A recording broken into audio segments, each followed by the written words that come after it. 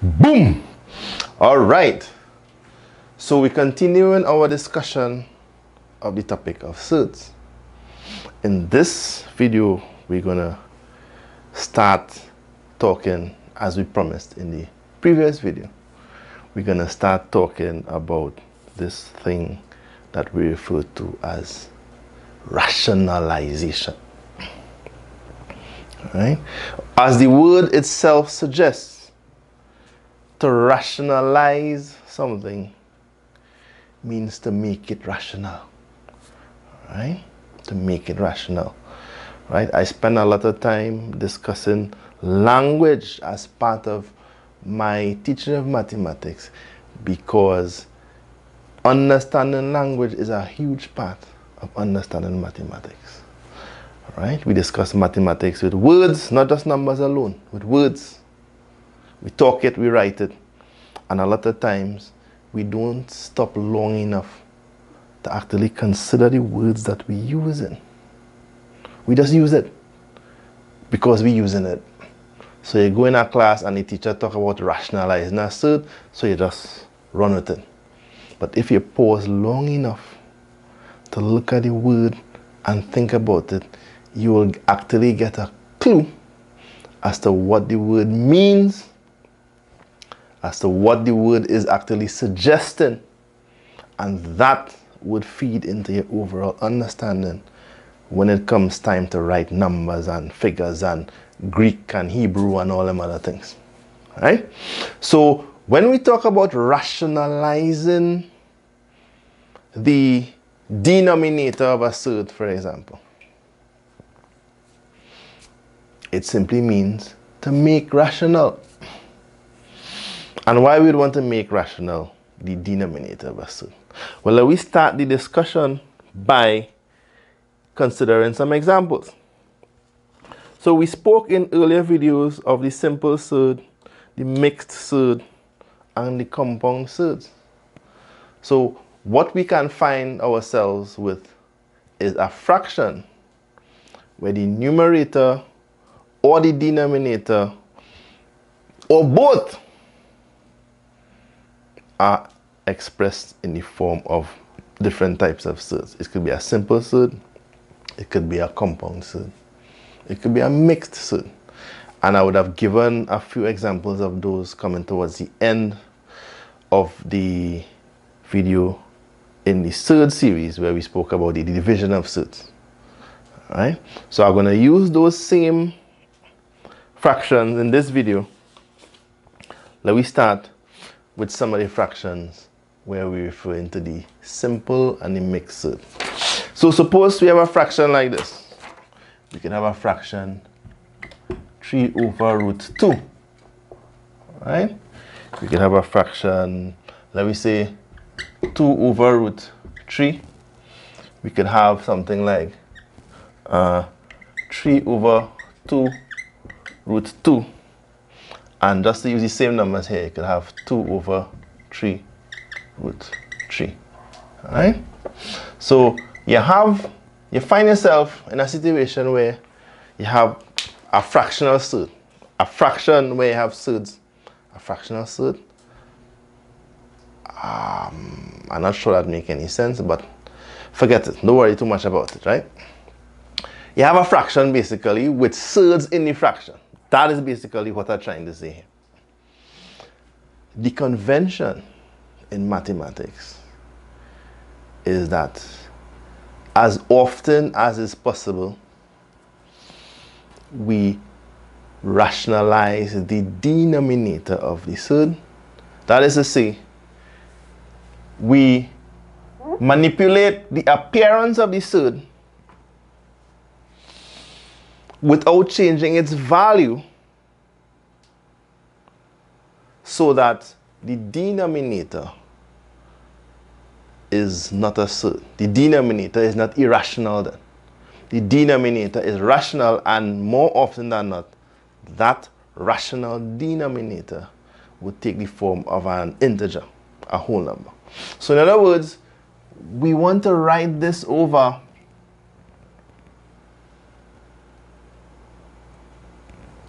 as a fraction, where the denominator is rational. Right? So what do we do? There's a very useful technique that we employ. I would have spoken about the whole fraction in a previous video. So basically what we do, we multiply by 1 and we express the number 1 as a whole fraction where in a case like this where either a simple surd or a mixed surd is in the denominator we multiply by a whole fraction where both the numerator and the denominator being equal would be the form would be in the form of another surd which would be, which which we would refer to as the surd the surd factor I think is what we what we call it in our previous video right? This a surd factor that will multiply by another surd to give you and to give you a rational number. And the best one we could choose is root 2 because root 2 by root 2 is 4 it's 2 sorry not 4 that's a common mistake though. Root 2 by root 2 is 2 so in other words if we want to rationalize 3 over root 2 we just simply do this. We say 3 over root 2 is equal to 3 over root 2 multiplied by for teaching purposes I would normally write the denominator first to drive home the point that the denominator is what we're focusing on. And then of course, once you decide what the denominator is, you know that the numerator has to be the same. Alright, so in other words, I actually go through the thought process. If you're thinking about this, you have to think about the denominator first. The denominator is what you're thinking about first. And after you think about the denominator, then you know immediately what the numerator is. And then you could just write it as root 2 over root 2. But a, a lot of times I would write the denominator first just to drive home the point. Of course, when you're in your exam and when you're doing your own working, you just write root 2 over root 2. Right.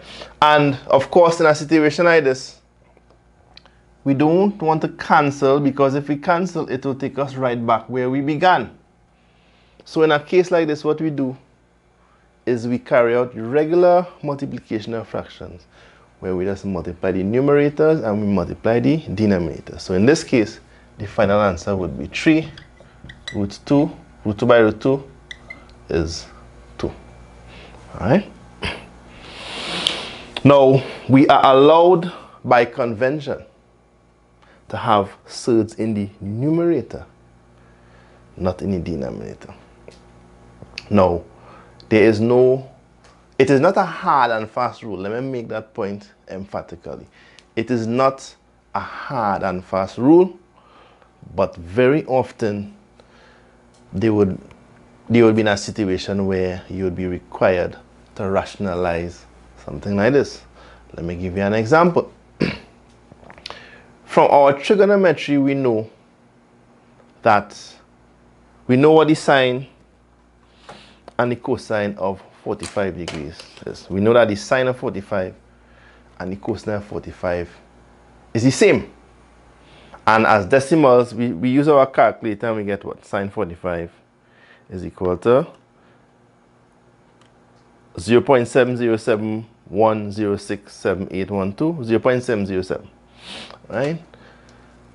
Most students who do in mathematics would be happy to write sine 45 as 0.707.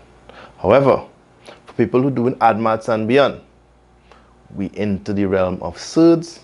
So we will write that the sine of 45, we will say that the sine of 45 is equal to 1 over root 2. We know that. Very often we leave it as 1 over root 2 for the purposes of calculation and whatever. However, sometimes we are required to rationalize this. And we rationalize it by simply saying that that is equal to 1 over root 2 multiplied by root 2 over root 2. Right? Root 2 by root 2 is 2. 1 by root 2 is root 2. Right? So the calculator that I am actually using here, there's a fraction option and they also have surds on the calculator. And this is what I got on the, got on the calculator, not this. See? So in other words, they are, I mean, that is, a, that is a simple example of what I was just talking about.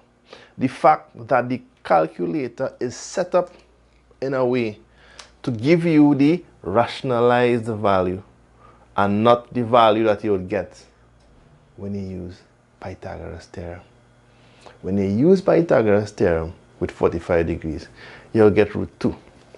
Right? And again, I would have done that in another video earlier on when we spoke about uh, the trigonometric ratios and we discussed the 30 degrees, uh, 45 degrees, 60 degrees, and whatever. Right? So as we, as we mentioned 30 degrees, let me talk about it again, just to give another example. Excuse. excuse. You see how exciting life is when I'm making videos?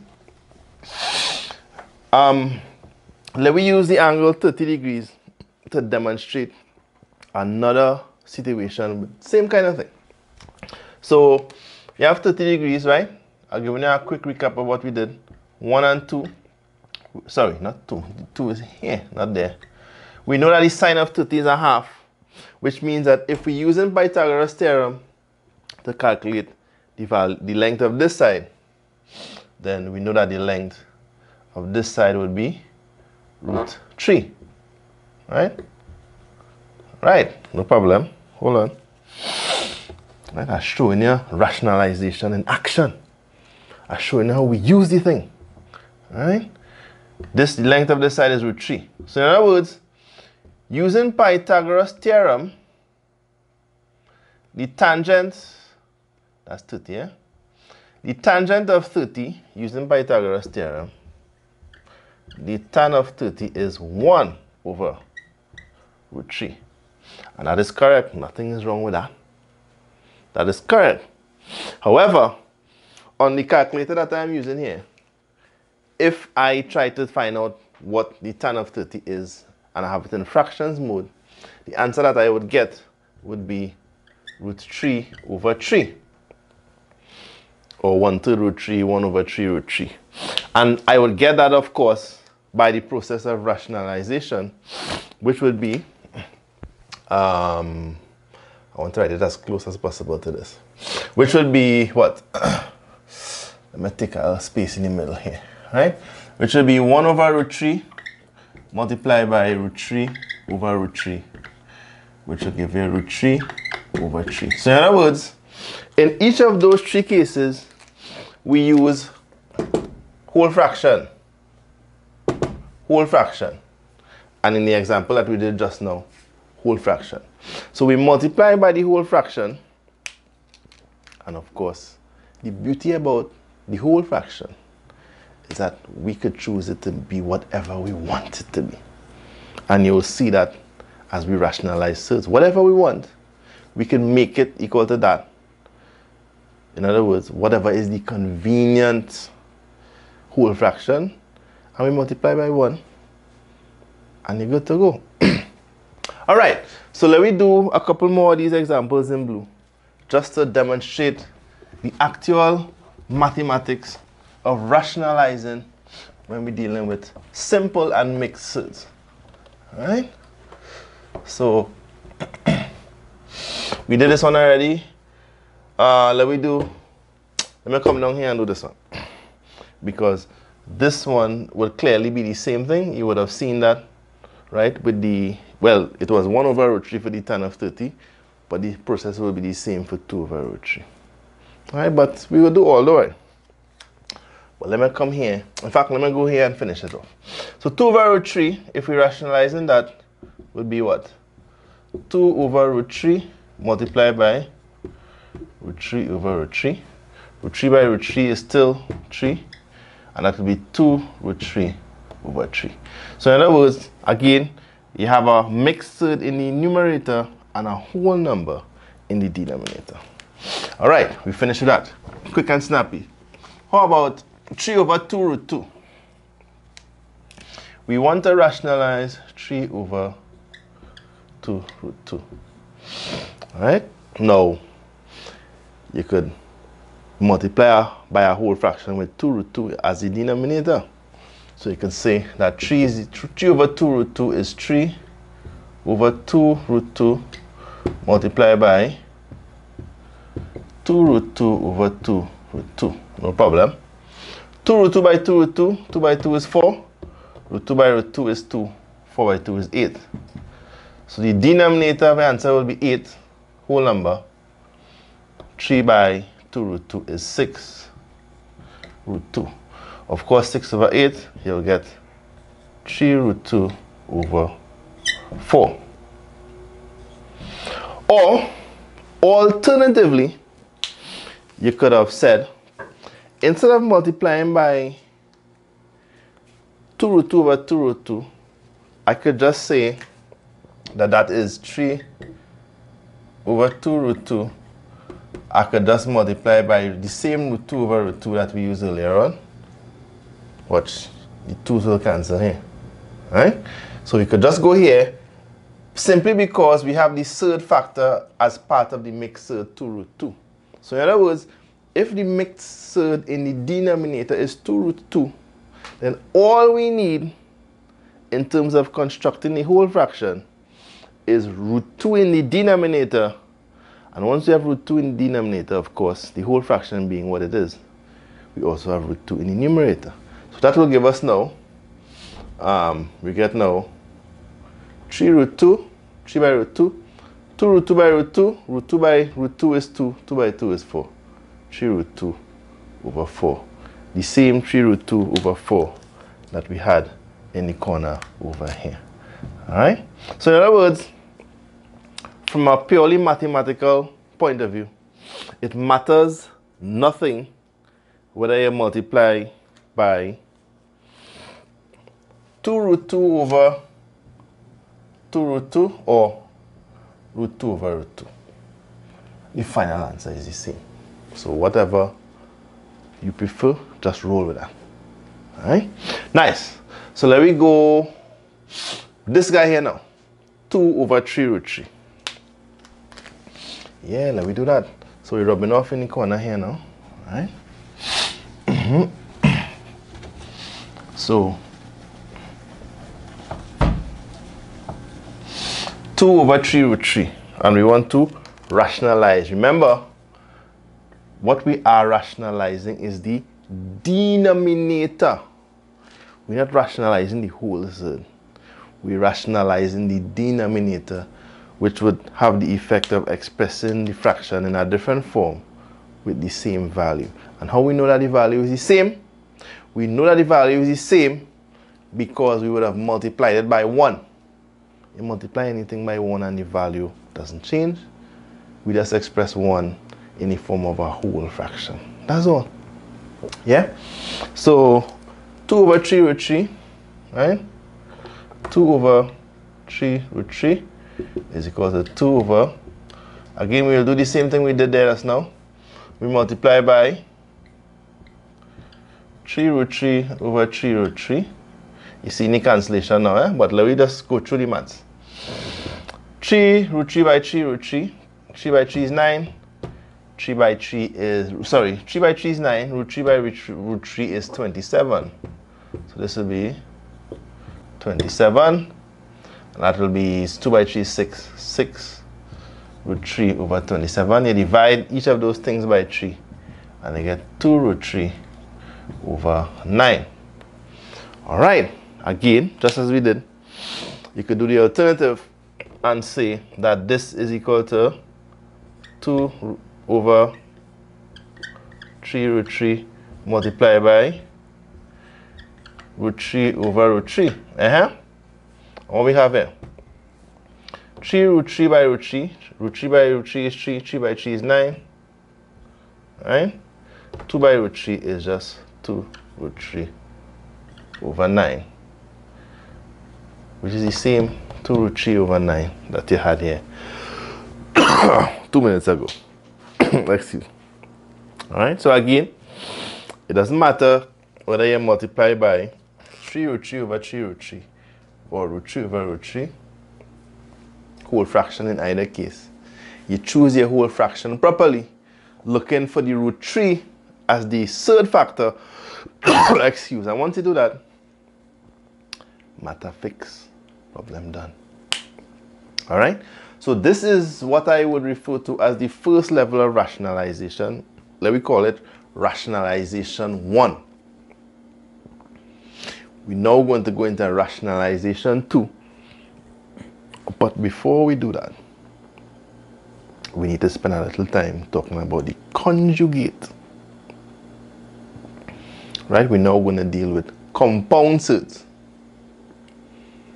And we have a little extra things that we have to consider. For that, excuse, we're going to do that now. So stay tuned. It's coming up in the next video.